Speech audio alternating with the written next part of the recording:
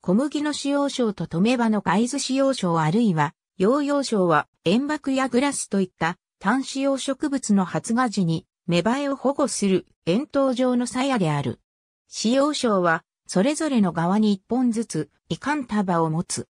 使用症の内部に収まっている止め場とは異なり、発芽前の使用症は顕著な量のプロトクロロフィルやカロテノイドを蓄積しないため、通常非常に薄い色をしている。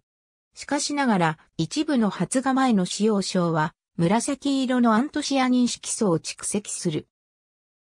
使用症は、素早い身長成長に特化した非常によく似た細胞から構成されている。これらの細胞は分裂しないが、水を蓄積し傘を増大させる。使用症は、また、いくつかの水を供給するための軸に沿った導管を有している。使用症が地表に達すると成長が止まり、止め場が先端を突き破り成長を続ける。小麦の使用症は発芽後3日目に最も成長する。使用症を用いた光屈性に関する初期の実験によって影となる側の植物細胞が光が当たる側の細胞よりも伸長するため植物は光に向かって成長することが示唆された。